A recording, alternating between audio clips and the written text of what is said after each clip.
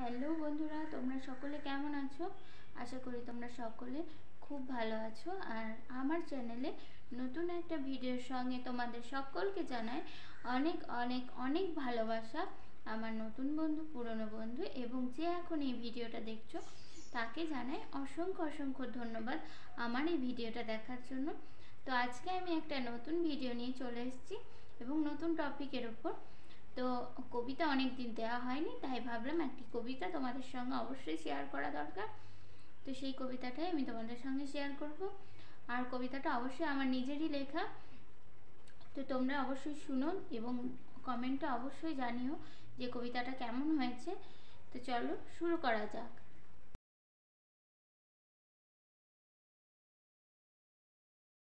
তো কবিতাটা শুরু করা যাক। বাবার বাসা। আমার বাবার যুবক বয়সের বাসস্থান। একটি ঘরে তিনটি বিছানা, তার মধ্যে একটি হলো আমার বাবার ঠিকানা। কলকাতায় হাজরা রোডের ধারে কয়েকশো বছরের সেই পুরনো বাড়ি। পাশেই যতীন দাস পার্ক, কয়েকশো বছর ধরে কয়েক হাজার মানুষকে আশ্রয় দিয়ে আসছে এই বাড়ি। নিচের তলায় রন্ধনশালা, দোতলায় টিভি, তিনতলাতেও মানুষ রয়েছে রয়েছে কর্মজীবী। কেউ গিয়েছে চাকরির উদ্দেশ্যে, কেউ করছে চাকরি, কেউ বা গিয়েছে রাঁধুনি হয়ে, কেউ করছে ডাক্তারি। কত মানুষ এসেছে, গিয়েছে, কেউ করেনি সেই বাড়ির তদারকি। প্রাণহীন দেওয়াল, প্রাণহীন ঘর, তবু আশ্রয় দিয়ে চলেছে একদল কর্মজীবী মানুষকে। কোথাও দেয়াল ভেঙে পড়েছে, তো কোথাও আবার ছাদের অংশ ভেঙে পড়েছে। কোনো ঘরে আবার বৃষ্টির জল জানলা দিয়ে ঢুকে পড়েছে।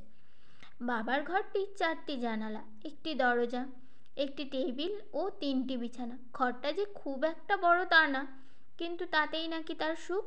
রয়েছে একটি ধুলোমাখা তাক, তাতে রয়েছে দরকারি কাগজপত্র, ম্যাগাজিন, খবরের পেপার, খাবারের কোটো।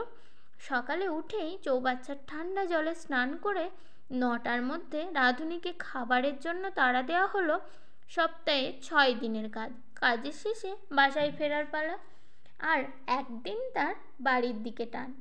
শনিবারের পাঁচটা ট্রেন ধরে অথবা সাতটা ট্রেন ধরে এক ঘণ্টা সাইকেল চালিয়ে তার ঘরের পথে রওনা। আবার সোমবার ভোর চারটেই বেরিয়ে ফার্স্ট ট্রেন ধরার অপেক্ষায় বাড়ির মায়া ছেড়ে শহরের দিকে রওনা। সেই একই জীবনযাপন করে চলেছে কয়েক বছর ধরে এই মানুষগুলি। কেউ বা নবীন, কেউ বা প্রবীণ, কেউ বা পড়ুয়া, কেউ সদ্য বিবাহিত। সুস্থ থাকুক তারা সবাই একান্নবর্তী পরিবারের মতো।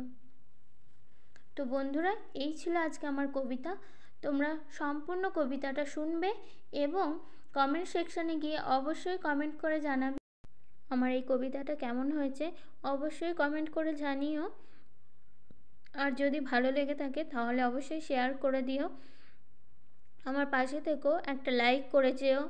এবং আমার নতুন বন্ধু হয়ে থাকলে অবশ্যই চ্যানেলটাকে সাবস্ক্রাইব করে নিও, পাশে থাকা বেল বাটনে ক্লিক করো এবং নতুন একটা ভিডিওর সঙ্গে তোমাদের সঙ্গে আবার দেখা হবে। ততক্ষণের জন্য তোমরা সাবধানে থেকো, সুস্থ থেকো এবং অনেক ভালো থেকো। তো টাটা।